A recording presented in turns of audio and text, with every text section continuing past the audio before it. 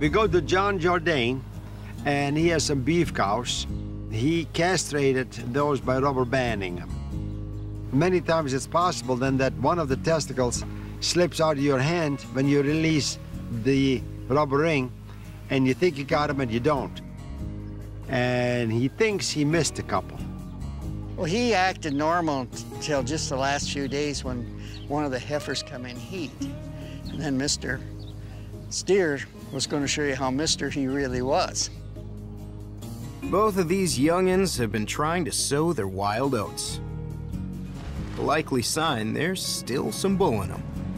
Hello, John. Hi, how are ya? I'm hot. You're hot, I imagine. These two in here? Yeah, and that black one tried to jump cows and his penis come out, but it didn't go in.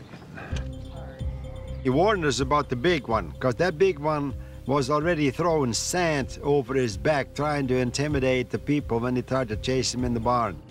We don't have a chute here, huh? No, I don't. So we have to get him on the rope. Charles, long rope.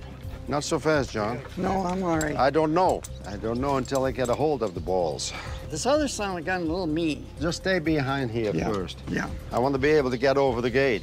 When you get a steer that already is trying to attack the owner, then you got to be very careful. He's still a small one, but he's still a little bit bigger than I am. You ain't kidding. We got him on the rope. He didn't like that. Hey, Watch it. These are beef cows. They're rarely handled or confined. To you. no. Here, you hang into this, because I may have to knock him out in order to get I to think the that'd balls. be your best fast with that. Well, we'll see. I got a big boy with me here. He didn't like to be tied up. He did not like to be pinned up. He's been out in pasture fields most of his life. This is the first time he's really been ever clamped down to where he wasn't free. Hold, Charles. Hold him. And he just did not like that. That's a cat.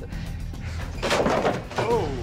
Once you get them on the rope, then it seems like they get a little bit more scared and they try to get away and attack you.